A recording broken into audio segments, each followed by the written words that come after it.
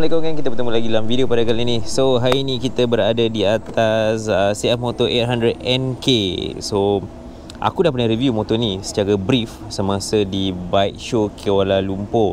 Uh, And aku nak ucapkan terima kasih jugalah kepada Jasni Daripada tenaga motor dekat Semenyih, cawangan baru lah.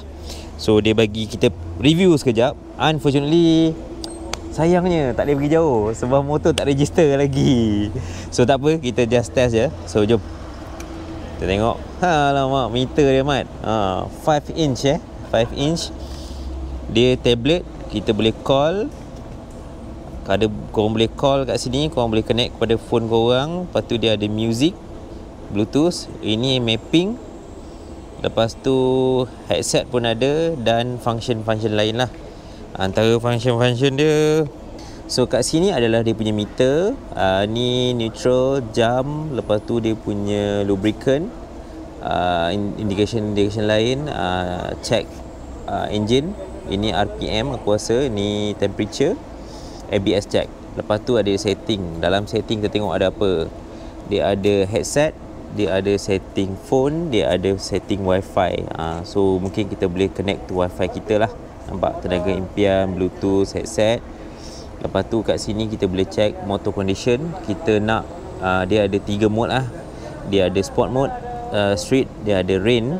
Lepas tu untuk safety, smart desktop pun kita boleh check. Quick shift pun kita boleh on, tak boleh on. Forbidden touch during speed. Maksudnya kita boleh setkan untuk keselamatan. Sebab ini touch screen, so kita boleh set 5 km per hour, 15 km per hour, 30 km per hour. So kita boleh set lah. Kita bila tekan tu dia tak ada function. So ni sport mode uh, paling power so kita ambil yang street mode sahaja and then setting-setting lain tu kat sini dia ada dia punya adaptive. Uh, panas dia akan makin gelap ke apa appearance setting dia indicator light. Lepas tu ini media. Uh, sound segala jenis sound semua ada kat sini. Lepas tu ni ada FN button. FN button 24 hour jam language mileage temperature semua ada kat sini. So uh, macam FN button ni kita boleh set drive mode uh, brightness appearance map touch ataupun apa yang kita nak lah so FM button tu kat mana? Dekat sini. Ni FM button lah. And itu saja function-function yang ada dalam ni. So kita pergi dekat map lah. Senang kita pergi dekat map. Lepas tu kat sini motosikal ni dia ada cruise control. Kita boleh set cruise control dia kalau kita nak. So kita nampak kita on dia akan keluar lah. Dan kita boleh set berapa nak reset berapa and then this is the cruising button dia uh, cruising button ni uh, so media tengok. Kalau ada headset ni kita boleh tekan kat sini kita boleh connect lah. And then uh, apa button-button lah ni nak speaker ke apa benda lah. And ni signal uh, itu yang button-button istimewa dia. Lepas tu motosikal ni dia wireless eh. Uh, dia keyless wireless pula. Dia keyless ni kunci dia. Ni kunci dia.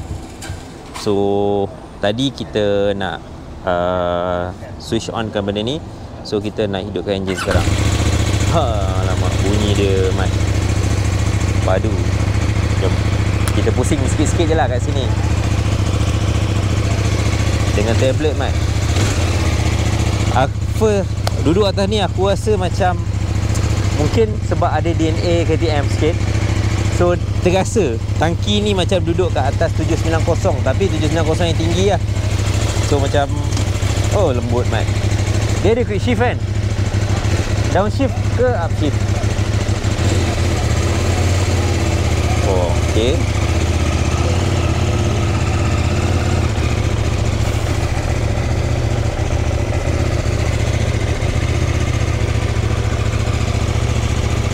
Walaupun dia agak besar Tapi terasa lah dia punya macam Agak macam nimble juga. lah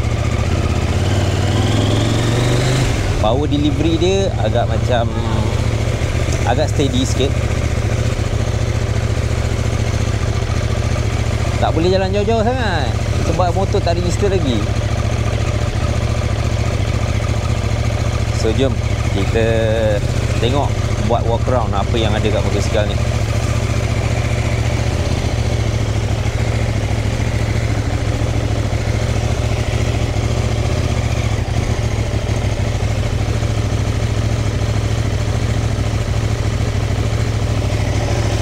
gear untuk uh, ni pun senang lah.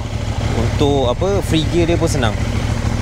So jom kita tengok apa yang ada kat motosikal ni. Ini adalah kali kedua lah aku buat uh, review pasal motosikal ni. Sebab kali pertama aku buat tu aku tak puas hati sebenarnya. Sebab masa tu tengah dekat KL bike show um, ramai bising. Dan masa tu pun aku pun macam uh, banyak benda lah aku tak dapat nak belik sepuas-puasnya motosikal ni. So hari ni uh, kita berpeluang sekali lagi untuk membelik motosikal ni.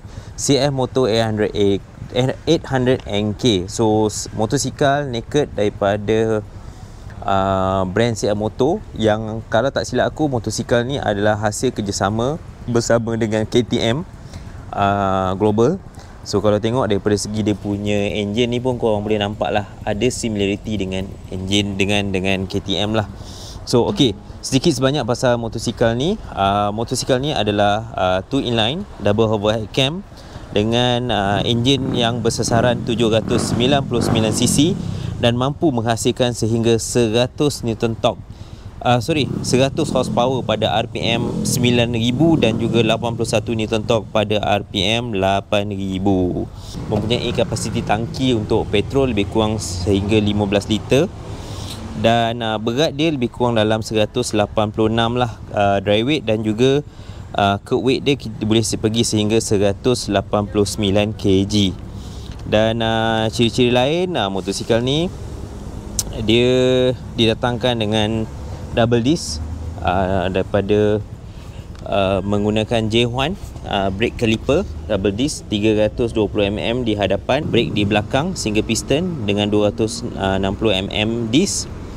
Dan uh, dia ABS dua channel eh depan dengan belakang lah. Kalau korang tengok kat situ dia adalah ABS punya gigi tu. Motosikal ni pun didatangkan dengan dampener damper kat bawah ni dan juga curve uh, radiator lah untuk uh, sistem penyedukan yang lebih aku rasa lebih efektif so dia buat dengan bentuk curvy lah engine dia uh, twin apa ni two inline uh, chop kat sini pun dia pakai chop uh, CM motor Lepas tu dia tak silap aku Euro 4 atau Euro 5 compliance dengan exhaust yang macam ni lah. Dia two barrel nampak ada dua lubang kat sini. Untuk siap motor ni dia memang buat cantik. Dekat bawah ni uh, memang clean, clean gila untuk lampu kat belakang ni. Cuma sayangnya uh, tapi ciri-ciri ni lah dia pergi letak dekat splash guard ni dia punya signal. Kalau kata signal ni dia letak atas ni ataupun dilekatkan kat sini tu memang lagi best lah sebenarnya. Cuma splash guard ni kita boleh buang terus lah. Cuma ada masalah untuk kita settlekan dia punya signal. Kat mana nak letak aku pun tak pasti. Kena pandai-pandai korang lah. Kalau nak bagi cantik buang splash guard ni. Fork adjustable fork uh, kita boleh adjust compression dan juga rebounds dia dekat sini uh, lampu dia macam kita tengok lah uh, jom kita tengok kita tengok dia punya lampu dia Ini adalah dia punya lampu dia. So, lampu dia, signal dia semuanya LED. Okay, lampu signal dia semua LED, lampu headlight dia pun LED. Ah, macam ni dia punya lampu uh, tinggi lah dengan lampu rendah dia. Ni dia punya day running light. Dia punya hand apa untuk lampu setting dia untuk tinggi rendah macam ni je. Pass light macam ni. Nampak pass light. Ataupun kat sini untuk highlight tu, tolak tu. Ha, ini sama macam KTM punya design lah. Lepas tu dia ada windshield macam ni Aku tak sure, tak tahu dia function ke tak ha, Tapi memang agak okey lah ha, Cuma lampu dia ni macam macam robot Futuristik sikit lah ha, Selain daripada itu Aku sebenarnya agak suka dengan dia punya design uh, seat, Dia punya apa ni? Side mirror ni ni. Sebab side mirror ni ni tak nampak retard Nampak cantik, nampak kemas. Cuma yang ni lah keunikan dia Keunikan dia macam yang aku cerita ni lah. Uh, keunikan dia punya tablet ni kan. Uh, so kita on nampak? Inilah dia punya tablet. Motosikal ni CI dia lebih kurang dalam 810mm juga so untuk aku yang ketinggian dalam 165 cm ni memang okey sangat lah tak tinggi sangat. Eh sorry bukan dia bukan dia 810 820 mm. Dia punya seat height dia. Nah, so ni seat height dia. So kaki agak menjengkit sikit. Kalau kita dirikan dia Lepas tu kalau kata ha, macam ni kaki satu turun kat bawah Dia flat lah.